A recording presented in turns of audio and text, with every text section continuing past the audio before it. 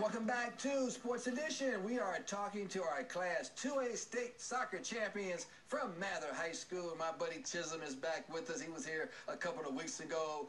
Julian Rodriguez also with us. And I'll start with my man right here, Chisholm. Uh, you guys said you would win the state championship. Yes, we did. You won it. Yes, we did. Uh, what was the key to winning that championship game? Um, actually, we play like a team, and we play as, as I've been saying, we play like family in one family. So it was a good game. Mm. Julian, tell me about this team. When did you know this team could win the state championship? Even before the season started, well, I knew the players from last year, and I knew everyone was capable of doing a good job, and mm-hmm. that they were going to be committed, and we were going to have a good season. How how do you keep the team together to make sure that everybody's committed? Because let's face it, it's a long season. Mm-hmm.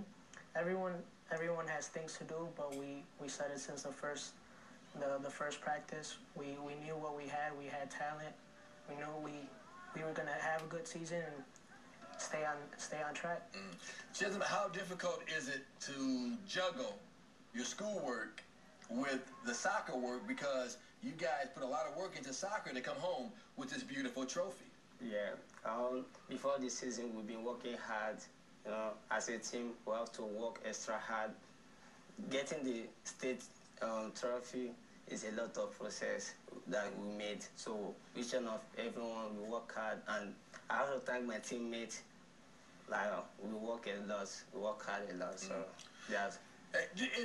Is it easier during the games to play than it is the hard work leading up to the games? Because I know like some coaches make practice so hard with a game is like a day off.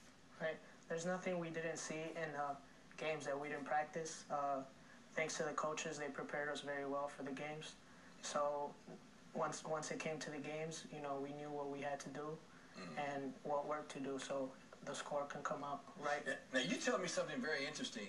You guys use two goalkeepers every game. Right. Tell me about that. Uh, we have a sophomore goalkeeper, um, Alexis. He helped us out. He played in the team last year.